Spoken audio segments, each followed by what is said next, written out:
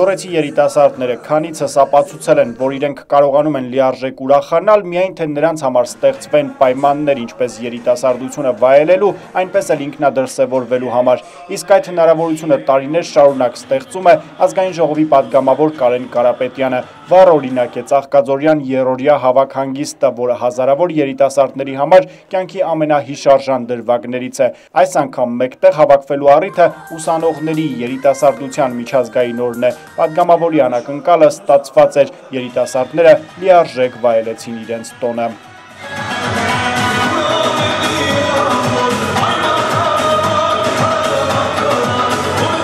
Կարեն Կարապետյանի շնորհավորանքն ու բարեմաղթանքները ներկաներին փոխանցում է վերջինների սավակ ընկերը Տիգրան Բադոյանը։ Հաջողություններ ուսման մեջ եւ անձնական կյանքում համարցակություն եւ որ կարեւոր է կայանալու եւ դրսեւորվելու հնարավորություն եւ վստահություն, որ երիտասարդությունը մենակ չէ իր խնդիրների հետ։ Կարեն Կարապետյանի մաղթանքներն են։ Բոլորին բարձր տրամադրություն եմ մաղթում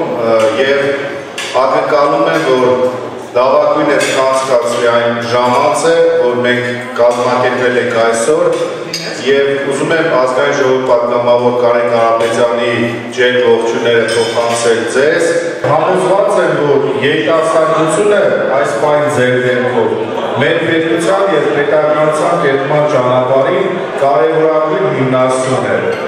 Բարեմաղթանքներից եւ բաժակ բարձրացնելուց հետո երիտասարդները անցնում են գործի օրը ավելի տոնական եւ հիշարժան դարձնելու համար յուրաքանչյուրնի ցույց է դնում իր տաղանդը։ Մարզի երիտասարդության գլխավոր մաղթանքը խաղաղություն սահմանին։ Այդ մասին հենց սահմանին կանգնած, ապա բարձր գլխով տուն վերադարձած երիտասարդն է խոսում։ Ցավոք, թե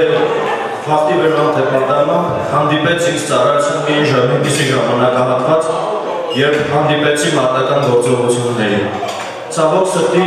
այսօր շատ ընկերներ կան, որ մեր կողքին չեն, մեր հետ չեն։ Ես չեմ ցանկանում նրանց անվանել զոհված կամ մահացած։ Նրանք չեն զոհվել։ Հավատացեք ինձ, ոչ մեկ չի զոհվել։ Նրանք մնացել են հավերժ զինվորներ։ Նրանք հավերժ զինվոր են Հետո երկ ու շուրջ պար 21-րդ դարի առաջադիմություն ու ազգային արժեքները պահպանելու պատրաստակամություն, մեկ խոսքով իրադարձություն, որտեղ հերոս այսօրվա երիտասարդն է, գնահատված ու սիրված, վերջինն էլ հենց ստիպում է, որ նրանք ավելի պատրաստակամ լինեն, քանզի վաղվա օրը հենց նրանց ձեռքերում է։ Դե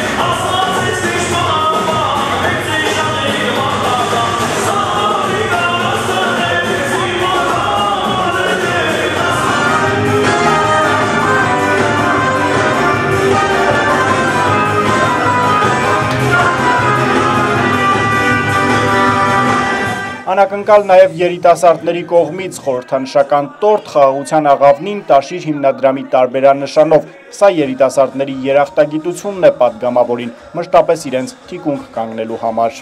Ուզում եմ շնորհակալություն հայտնել մեծ պարոն Կարեն Կարապետյանին, որ ոչ մի ավելի բաց չի թողնում մեզ ուրախացնելու համար